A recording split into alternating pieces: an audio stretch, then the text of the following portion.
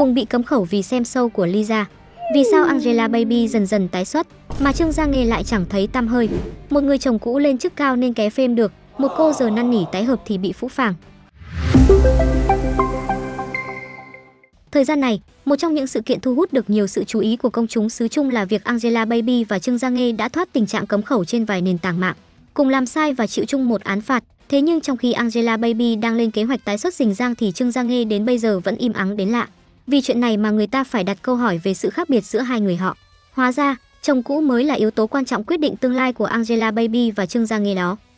Trương Gia Nghê Chắc mọi người cũng biết, Trương Gia Nghê chỉ tích cực hoạt động trở lại hơn một năm mà thôi, sau khi ly hôn ông xã mãi siêu. Ngày xưa, khi còn làm dâu hào môn, công việc nghệ thuật của cô chỉ là làm cho vui mà thôi. Đáng tiếc, giấc mộng vinh hoa của Trương Gia Nghê tan vỡ vì chồng qua lại với cô gái trẻ khác. Và đến tận lúc này, bộ mặt thật của anh cũng mới lộ rõ. Dù mang danh là dâu hàng môn, nhưng Trương Gia Nghê chẳng hề nhận được gì từ nhà chồng, ngoại trừ thái độ hắt hủi. Theo dân tình tìm hiểu thì toàn bộ tài sản của Mãi Siêu đều do bố mẹ đứng tên, thế nên hậu ly hôn, Trương Gia Nghê còn phải chia đôi số tiền mình kiếm được cho nhà chồng nữa cơ. Không chỉ thế, cô còn mất luôn quyền nuôi hai cậu con trai. Đó là lý do Trương Gia Nghê năng nổ hoạt động trở lại trong Cbiz, đi xem show của Lisa với hy vọng tìm kiếm thêm nhiều tài nguyên mới. Đáng tiếc, chưa chăm chỉ được bao lâu thì sự nghiệp cô gặp nạn, hàng loạt tài khoản mạng đều bị cấm ngôn. Trước áp lực cuộc sống, nhiều nguồn tin hé lộ Trương Gia Nghê đã liên lạc với Mãi Siêu với hy vọng nối lại tình xưa. Thế nhưng, mọi nỗ lực của cô đều không có kết quả. Ngoài sự cản trở của mẹ chồng cũ thì còn bởi Mãi Siêu giờ đã có rất nhiều mỹ nữ vây quanh, chẳng còn muốn bị hôn nhân ràng buộc nữa.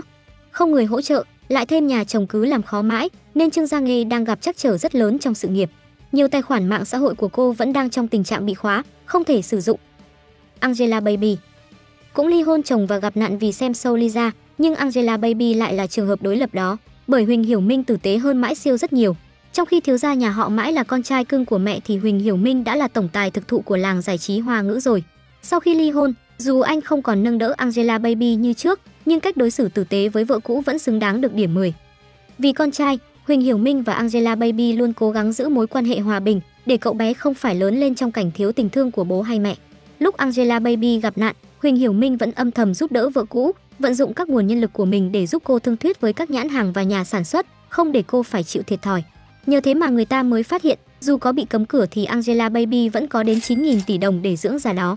Khi lệnh cấm ngôn của Angela Baby được gỡ bỏ trên mọi nền tảng, người ta phát hiện ra Huỳnh Hiểu Minh mới thăng chức thành phó chủ tịch Hiệp hội Điện ảnh Trung Quốc, ngồi ngang hàng với Lưu Đức Hoa và Ngô Kinh.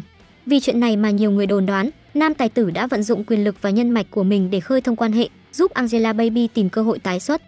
Nhiều blogger hé lộ, Angela Baby hiện đã âm thầm đàm phán với một đoàn phim lớn và chờ ngày ra thông báo chính thức.